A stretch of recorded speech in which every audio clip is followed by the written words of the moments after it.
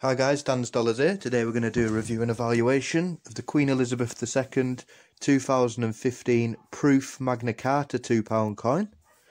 So you might have had these in your change that isn't a proof one. And there was 1.5 million of this coin made. So if you do have one and find it in your change, it is worth between 3 to 4 pounds. If you're lucky enough like me to have the proof £2 coin, it is worth between 30 and 35 pounds. Comment below if you've got any other £2 coins and I'll value them up for you. And as always, thanks for watching.